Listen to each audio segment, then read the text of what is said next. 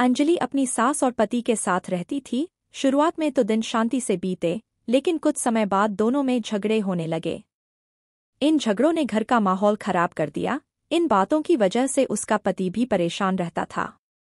अंजलि को लगने लगा कि वो अब अपनी सास के साथ नहीं रह सकती, क्योंकि रोज रोज के झगड़ों के कारण पूरे परिवार में उसकी बदनामी हो रही थी और पति की गरीबी की वजह दूसरा घर लेकर अलग रहना संभव भी नहीं था।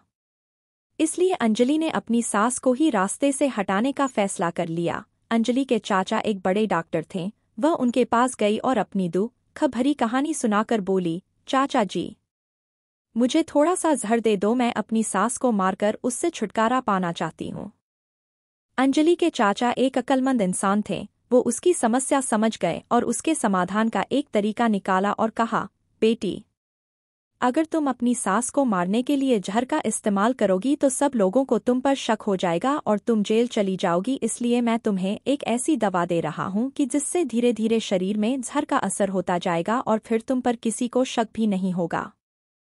बेटी, तुमको ये काम करना है कि रोज़ाना कुछ अच्छा खाना पकाकर उसमें ये दवा डाल देना, और हाँ इस बात का ध्यान ज़रूर रखना कि तुम इतने दिनों तक अपनी सास के साथ बहुत मोहब्बत और प्यार से रहना ताकि किसी को तुम पर शक भी ना हो सके। उनसे लड़ाई झगड़ा मत करना। उनकी हर बात मानना और अपनी माँ की तरह उनके साथ बर्ताव करना। अंजलि ने अपने चाचा से कहा कि, चाचा जी, मैं इन सारी बातों का पूरा ख्याल रखूँगी। और फिर दवा लेकर अंजलि घर वापस आ गई।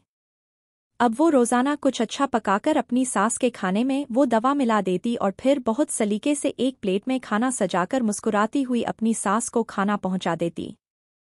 जब भी उसकी सास उस पर गुस्सा होती तो वो बड़ी खामोशी से उनकी बातों को सुनती और अपने गुस्से को काबू में रखकर चाचा की सलाह के अनुसार अपनी सास की खूब सेवा करती, उनके गुस्से की किसी बात का जवाब ना देती।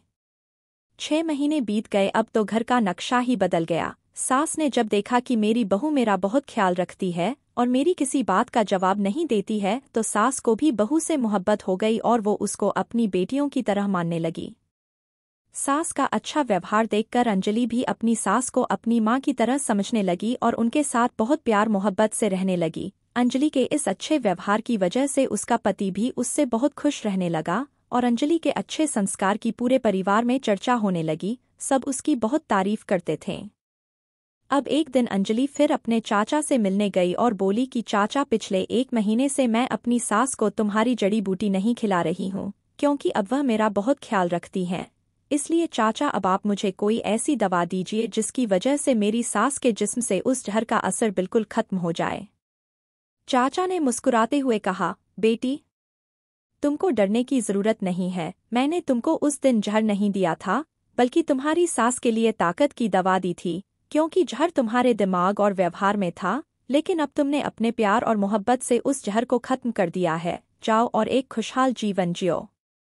याद रखना, हमारा व्यवहार हमारे शब्द और लहजा तय करता है कि दूसरे हमारे साथ कैसा व्यवहार करते हैं। यदि आप चाहते हैं कि दूसरे आपका सम्मान करें और अपने अधिकारों को पूरा करें तो सबसे पहले आप उनके अधिकारों को पूरा करके उनका सम्मान करना शुरू कर दीजिए। फिर देखना सारे लोग तुम्हारी कैसी तारीफ़ करते हैं।